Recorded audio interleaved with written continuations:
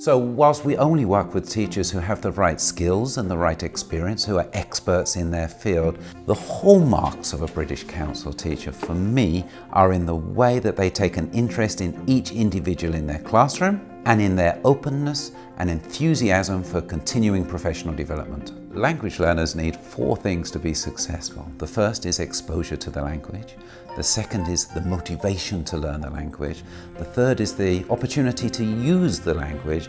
And the fourth is instruction, ideally expert instruction. And we provide all four.